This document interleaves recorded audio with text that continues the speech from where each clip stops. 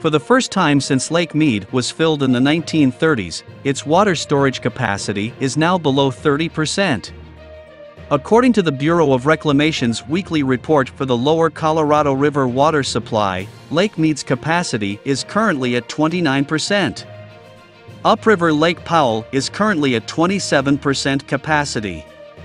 As of June 7, the Bureau of Reclamation measured Lake Mead's water level at 1,046.53 feet above sea level.